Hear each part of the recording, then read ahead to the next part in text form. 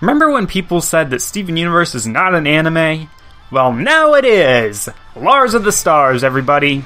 I'm not really sure how I feel about this episode. I've known about this episode for a long time, I was very impatient to get to it, and I think I was expecting more from it. There wasn't enough of Emerald, the off colors didn't do much, mostly it was about Lars and Sadie. I can't really find much wrong with the episode.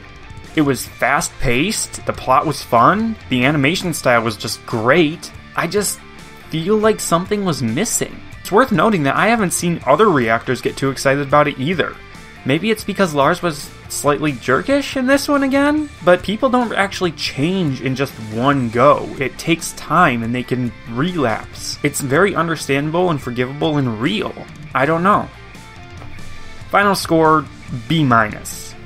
I kind of wanted to give it a lower score, but I couldn't in good conscience.